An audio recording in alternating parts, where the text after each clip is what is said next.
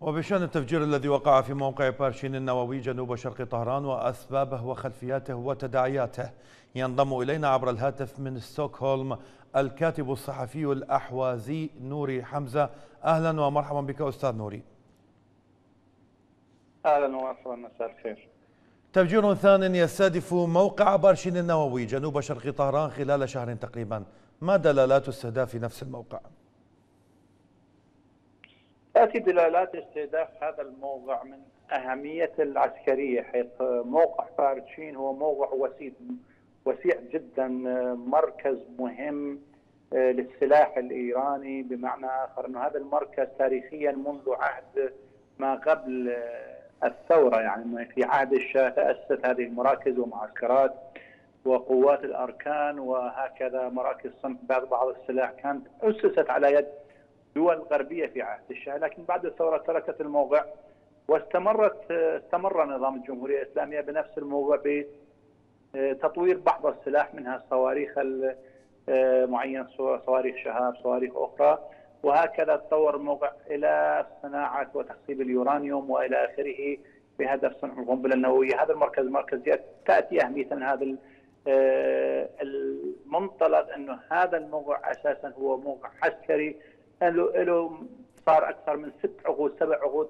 هناك ينتج سلاح وتطورات وهناك الأركان وهناك قوة استخبارية وإلى آخره. ف قوة أمنية عسكرية استراتيجية مستقرة في شرق طهران جنوب شرق طهران وهذا الموضوع مهم جدا وحيوي بالنسبة للسلاح الإيراني.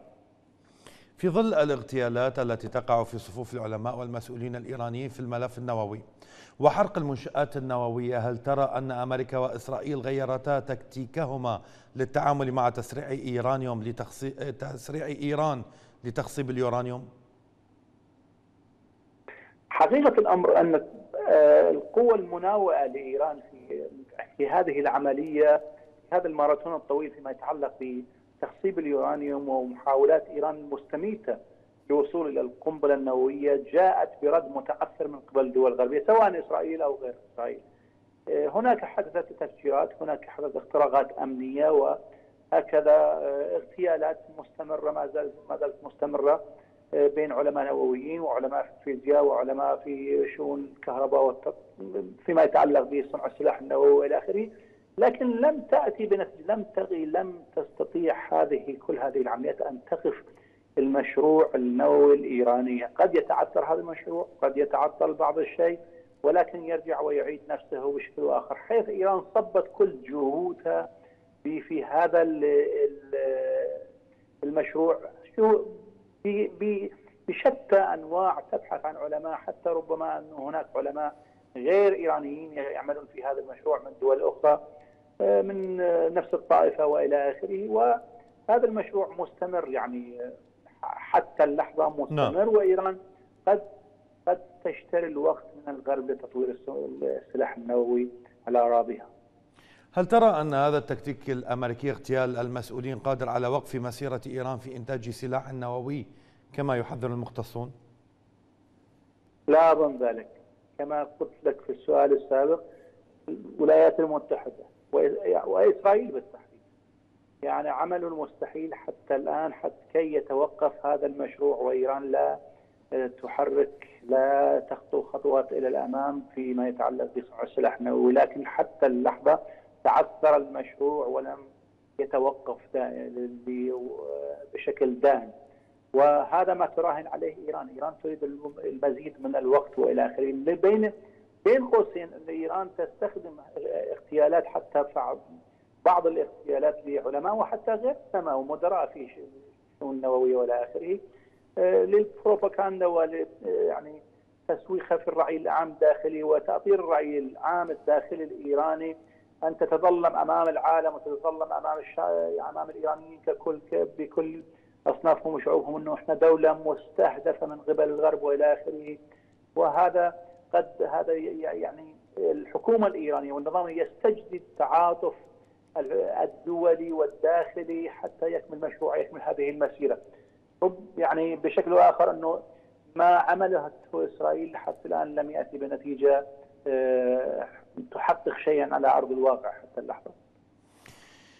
أين تقف إسرائيل التي هدد رئيس وزرائها منذ أيام إيران بضرب الرأس لا الأذرع في إشارة إلى تحول إسرائيل من ضرب الميليشيات التابعة لإيران إلى ضرب إيران نفسها هل تعتقد أن إيران تقف وراء حرائق المنشآت النووية وتفجيرها في إيران؟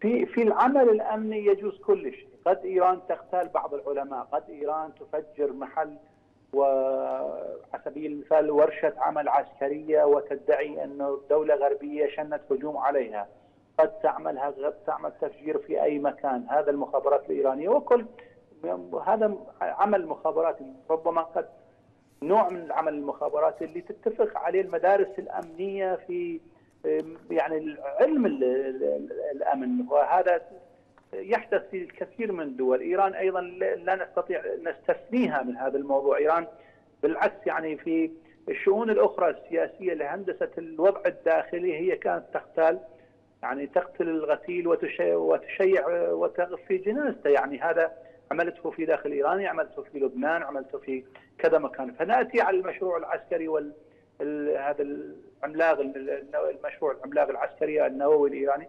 آه، أيضا لا نستطيع أن نخرجها من هذا التحليل. ربما إيران هي من في بعض الأحيان وليس كل الحالات في بعض الحالات هي من تقف وراء بعض التفجيرات وإلى آخره في ورشات معينة وتستجدي التعاطف من شعبها ومن الرأي العام الداخلي والإقليمي والإسلامي والعالمي بشكل وآخر. وترى آه، يعني تصور نفسها ك يعني شعب مضطهد دولة مضطهدة من قبل العالم الأمبريالي بين قوسين وإلى آخره هذا ما سياسيا واستراتيجيا ما تتابع لهندسة الرأي العام بهدف الحصول على المزيد من الوقت لتكملة مشروعها حيث مشروعها هو متوزع متوزع في داخل إيران في عدة أماكن ليس نعم. في مكان واحد هذه المشكلة الأساسية أمام نعم. أمام نعم.